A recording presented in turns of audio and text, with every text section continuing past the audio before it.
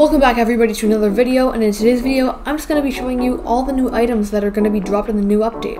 So basically Big Games leaked this image and as you can see there's 14 new items in it.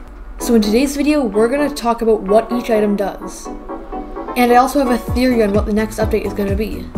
But that will be at the end of the video so make sure you watch the whole thing. Let's get started. Let's start with the four gift bags. So the gift bags look like this but they're just different designs. So basically, the brown gift bag gives you enchants, and the purple gift bag gives you flags. The red one gives you potions, and the yellow one gives you items. Next, we got these colorful tickets. So if you look really closely at them, you'll see the daycare logo. So when you use those tickets, you probably get extra daycare slots. Next, we got the empty bucket and the full bucket of purple stuff. I'm guessing this is just for a mini game because I can't see how this would be used in the real game. We also got this chest. Basically, this chest item is just gonna spawn a mini chest. Same with the lucky block, it just spawns a lucky block. And I'm guessing the pinata does the same. I think the pinata will drop diamonds because in Pet Sim X it also dropped diamonds.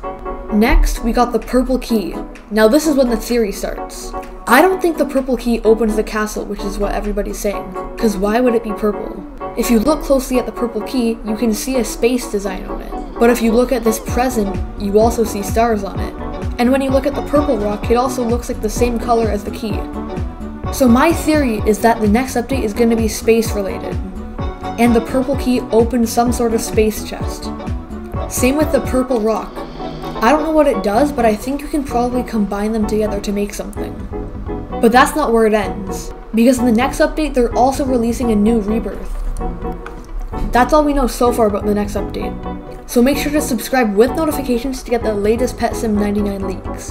Thank you so much for watching, but if you want to win a free huge, all you gotta do is join my Discord server.